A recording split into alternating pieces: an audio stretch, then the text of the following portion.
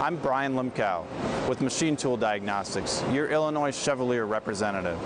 I'm here at IMTS 2014 and behind me is the Chevalier 2440 ADS Precision Surface Grinder. New on the ADS is a servo-driven ball screw crossfeed. This allows the machine to do slice grinding. Now you can program numerous different slices at different depths. You're also able to do shift plunge grinding with this machine, removing material quickly and efficiently. The machine is equipped with an automatic overhead dresser with dress compensation. The machine platform is all Meehanite grade castings. The table, while oscillating, is always supported by casting on the bottom.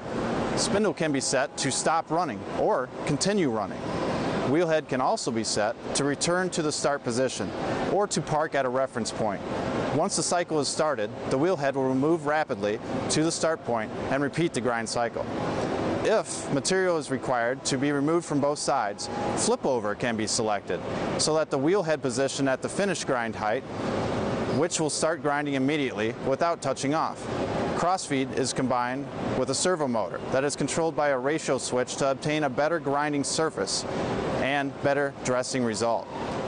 All essential casting is made of high-grade dense cast iron that has been stress relieved and ribbed with honeycomb ribs to enhance rigidity and increase stability. The ADS represents 30 years of listening to client feedback, resulting in the ultimate in surface grinding innovation.